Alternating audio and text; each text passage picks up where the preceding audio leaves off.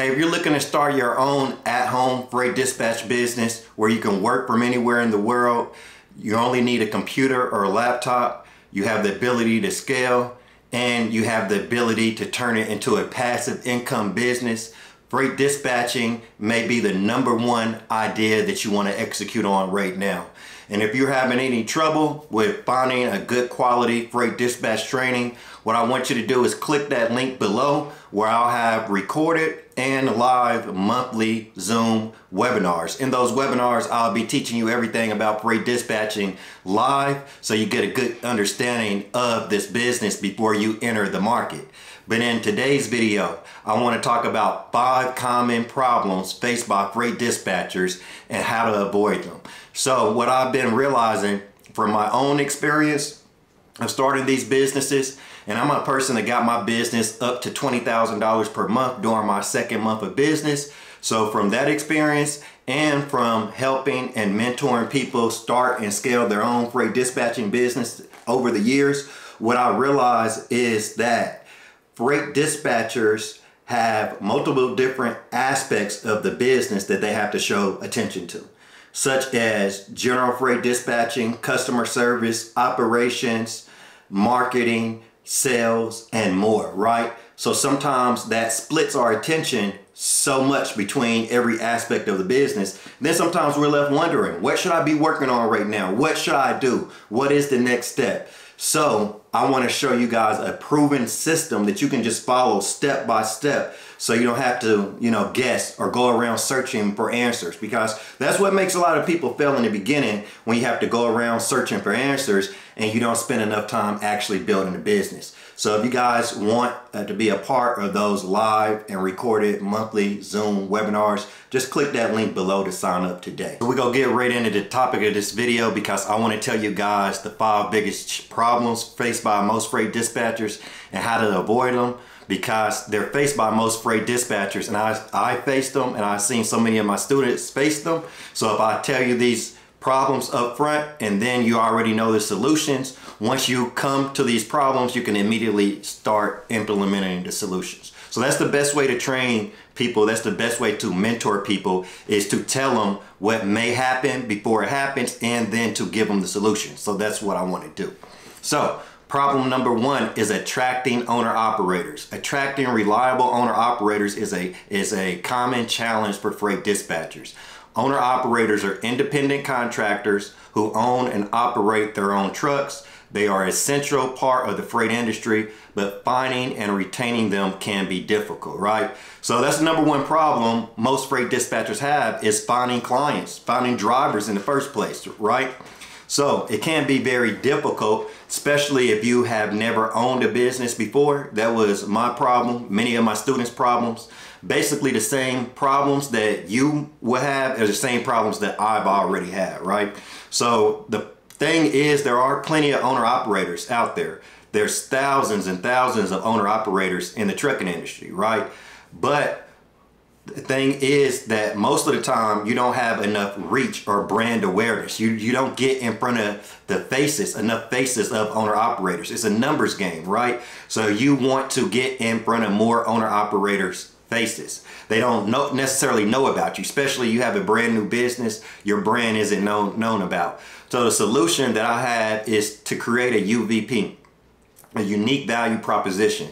Building a strong brand with a clear brand message and image that resonates with owner operators can help differentiate you from the rest of the market. That's what the, the main objective is you want to have higher value than the rest of the market. Most of the time, or all of the time, freight dispatchers don't have any drivers or they're failing to attract an increasing amount every month. It's because they don't have something unique about their business that stands out from the rest of the market.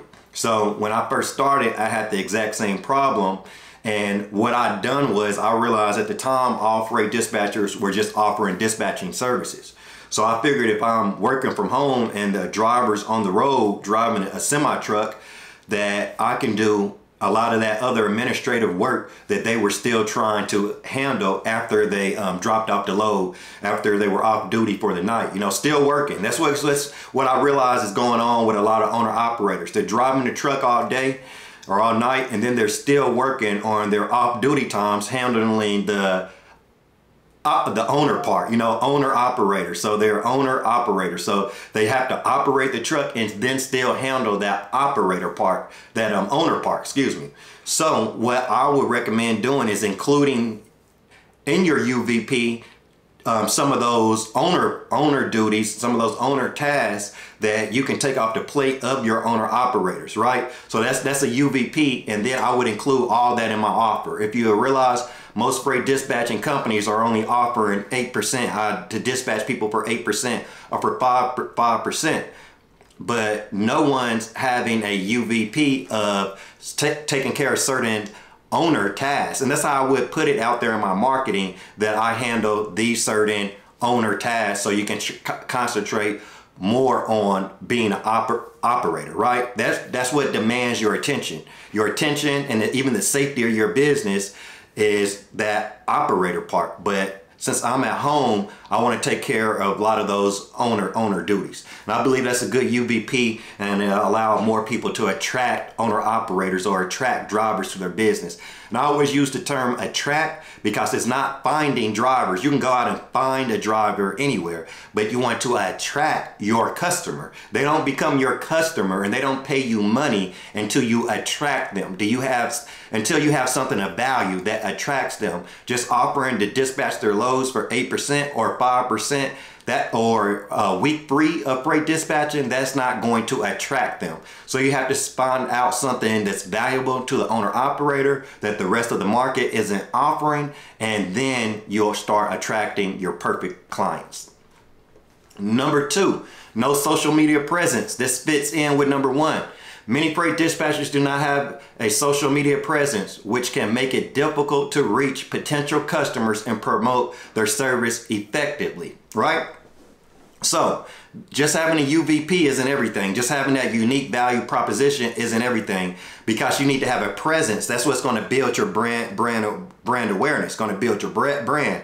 I can sit here all day in my office and think of plenty UVPs and write those UVPs down, but unless I have presence and brand awareness and I'm talking about my UVP, that uh, is not is not going to do me any good, right? Because I have to think of that UVP or think of that value, then I have to put it out there into the marketplace. Same with you, same with any business. So the solution would be to establish a strong social media presence. Establishing a strong social media presence can help freight dispatchers reach a wider audience and promote their service effectively. This includes creating profiles on social media platforms like Facebook, Twitter, and LinkedIn and regularly posting engaging content, right? So what I just said is also going to help attract those owner operators to you by having that strong social media presence and talking about your UVP. And then when you speak, you, people will be surprised. You may, for the people out there that don't have any drivers yet, you'll be surprised if you come up with a strong UVP and then increase your social media presence. You'll be surprised how many drivers were wanting that same UVP. So many drivers have tasks within their business that they hate doing that if you as a freight dispatcher offer to do that task they're, they're going to say that's exactly what i was thinking so that's how you're going to attract your perfect customer right? You have to attract them because you guys are basically already thinking the same thing. So once you start growing that social media presence you see you just attract like-minded people that you both um, equal exchange of value equal exchange of value. That's what you're looking for. So having a strong social media presence helps to do that. So number three, no knowledge of marketing a online business, right? So you have to have market of on, marketing a online business.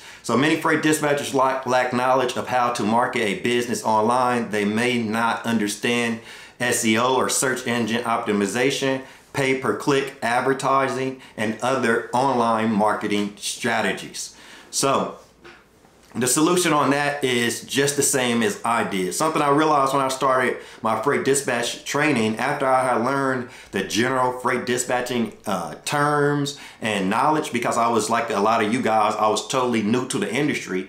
But after I learned that, took me about a week of researching and taking in information.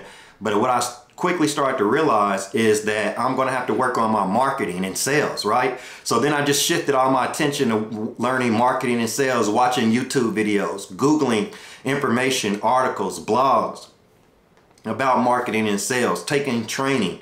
So my solution is to invest in online market, marketing, training, and services can help freight dispatchers improve their knowledge and skills in this area. This includes attending online marketing workshops, working with online marketing consultants, and using online marketing tools like Google AdWords and Facebook ads. So that's one big thing we you need to learn if you haven't learned yet. Facebook ads, you know, if you run ads, that's what basically helped make my company successful. I started to run ads and build a lookalike audience using Facebook. So basically Facebook is going to take the analytics, it's going to take in everything it knows about your viewers on your video and what you can do is make a lookalike audience that has similar characteristics and Facebook would do that for you. Make a lookalike audience and run your ads, run your videos to that lookalike audience that has the similar characteristics as your current audience. So what that's going to that's going to increase your revenue because now you got more owner operators. You're getting in front of the face. You got your unique value proposition. You're growing your social media uh, presence so, um, and learning how to market on social media, that's going to build your brand awareness. It's going to get your unique value proposition out to more potential owner operators. And that is that's how you can have an increasing amount of owner operators signing up for your business every month. Like I was just telling one of my students in my Enhanced 2.0 mentorship program, you guys can also check the link below to check out that program. But what I was explaining to that student is with my program, you're always going to cont continue to increase the amount of drivers coming into your company and to increase the amount of uh, revenue coming into your company because as you make so grow your social media presence as you make videos those videos are always online the videos you you would have made a year ago six months ago three months ago people are always coming and watching those videos. So you're basically going to stack. You're stacking value, stacking value. So that's what is, is going to make it easier and um, quicker. Your revenue is just going to increase by each video that you do over time because that's going to allow you to grow your social media presence, basically growing the amount of owner operators coming into your business. So I am wanting to teach you a way you guys can control your own revenue, right? You can increase your revenue anytime you want to. So that was problem number three, no knowledge of marketing a business online. Next up, we have problem four, self-doubt. Many freight dispatchers struggle with self-doubt, which can impact their confidence and ability to make decisions that are best or the best interest of the business.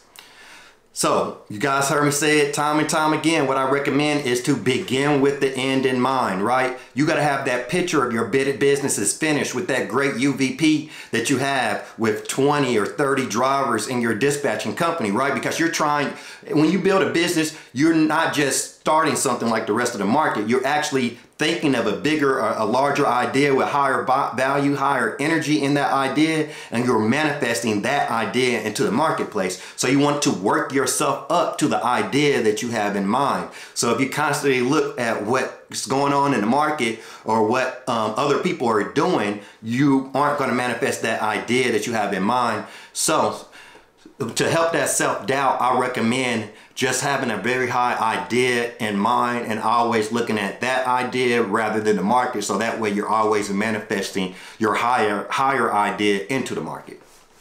So self-doubt can be crippling for freight dispatchers but beginning with the end in mind can help decrease it. By envisioning themselves and their business at the end they can create a clear vision of what they want to achieve and work towards. This vision can be used as a guiding force to help towards it. This vision can be used as a guiding force to help overcome any doubts or obstacles they may face along the way. So basically, this is how the mind works. When you do have doubts and obstacles, if you keep that idea in it that you have in the end, if you keep that in mind, that's going to manifest the solution because you still or putting faith into that idea so it's going to automatically manifest a solution into your business. So that's how you can attract the answers the solutions that you need by always going to the end and putting faith there not in a problem you see with your physical eyes. Let's get it let's get it. All right problem five. They lack lack of knowledge about the transportation industry. Many freight dispatchers can lack knowledge about the transportation industry. They may not understand regulations, safety requirements, or best practices for managing transportation businesses. So what I recommend to do, the solution for that is learn about the trucking industry. Take that time out. Learn every, everything you can because learning about the trucking industry can help freight dispatchers make informed decisions and improve their business operations. This includes understanding regulations from the FMCSA, that's the Federal Motor Carrier Safety Administration, the Occupational Safety and Health Administration, or OSHA and other governing bodies. So it's plenty of information out there on it online. I will be talking about that information in my free live web webinars that you can access by clicking the link below but it's plenty of articles out there that you guys can read, blog posts, and you can actually access the FMCSA website to know more about these regulations and to stay up to date, even for your owner operators. That's added value. As regulations change, things change within the trucking industry, I recommend to, you, you need to be the first source of information for your owner operators. Like I told you guys, anything and everything you can do to add value to your owner operators, that's what you want to do to attract them into your business. But I hope you guys like this video. A lot of this is from my own experience. So if you guys have questions, comment down below. I can also answer these questions in my mentorship programs where we work one-on-one. -on -one. So as these things come up, I can give you the best solutions in today's current market to get over those problems. If you guys have anything, feel free to reach out to me. I thank you for watching this video.